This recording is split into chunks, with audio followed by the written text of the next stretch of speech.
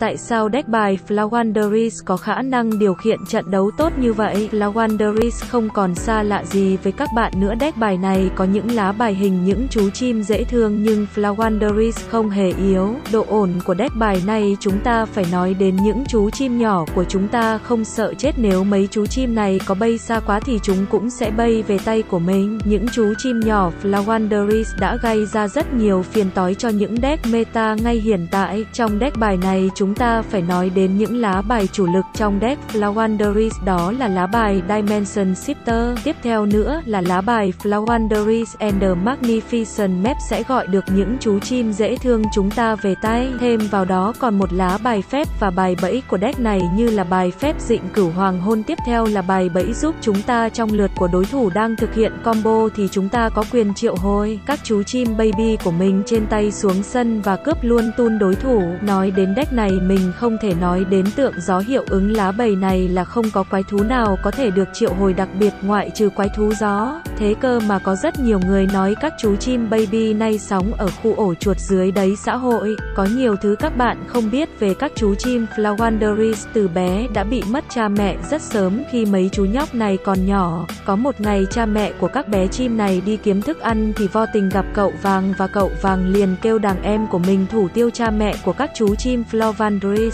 Mãi về sau này, những chú chim Flowanderis trong tâm trí của chúng phải kiếm được kẻ mà giết cha mẹ của chúng nên chúng gặp các deck meta, hiện tại chúng cứ tượng là những kẻ giết cha mẹ chúng. Nhưng thế lực của cậu vàng rất mạnh đàn em của cậu vàng chạy dài từ quận nhất cho đến quận 12. Các chú chim nhỏ chúng ta không biết đang đối mặt với một kẻ thù rất mạnh đó là cậu vàng khi mà nhà nhà điều chơi deck bài cậu vàng video đến đã hết hẹn các bạn trong những video tiếp theo của mình.